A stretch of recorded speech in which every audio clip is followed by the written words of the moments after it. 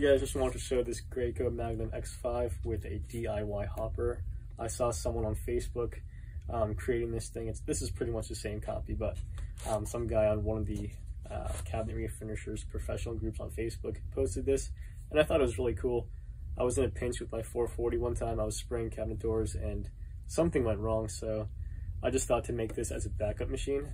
This also saves paint since I'm not um, since I'm using the hopper and it's pretty much going directly, the machine is directly um, sucking the paint.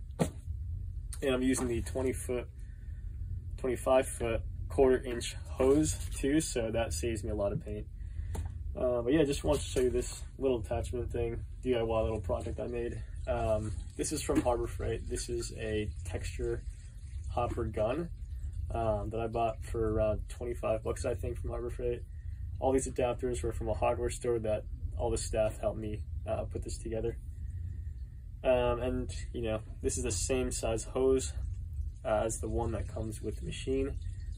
Um, and it just clamps on. I usually use a paint strainer when I spray everything just to prevent clumps from going to the machine and into my gun filter.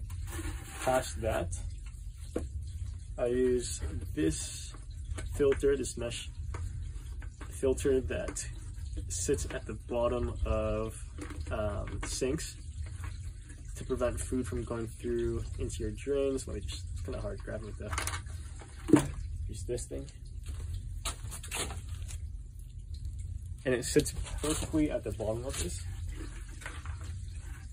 Um, but yeah, this is a great setup if you want to save paint when spraying, you know, a door, cabinet doors, maybe a piece of trim. It's a great way to save paint since you're using a hopper. This machine's super light. I never knew that the Magnum X5 was this light since I'm usually carrying around a 390 PC or a 440. Those are a lot heavier compared to this, but um, yeah, great little machine uh, and setup for cabinet doors, or if you're using 2K products or you don't want to uh, waste too much paint, this is a great little um, DIY tool to use for that.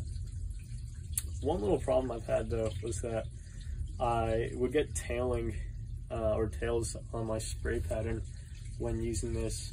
I'd crank it up to 3000 psi, the max amount of pressure I can get out of this machine, and would still get the same issue when using a 308 tip.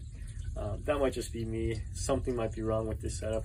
Um, but other than that, I've been using a 310 tip, uh, usually pretty high pressure to prevent uh, my spray pattern from get tailing. But if you guys know any remedies or um, ways I could fix this, let me know in the comments below. But yeah, I just wanted to show my setup, hopper, adapters that other people put together for me, pressure gauge so I know how much pressure I'm getting out of the machine, 25 foot, quarter inch hose from Graco. I have a Titan RX 80 uh, two finger, uh, two finger trigger pulled gun and a Graco uh, blue guard for the FFLP tips. And I'll usually shoot 308 or 310 tips um, to keep my spray pattern relatively smaller um, and not get too much volume out of the out of the gun. This is it though. Let me know if you have any questions in the comments and I'd be happy to help you.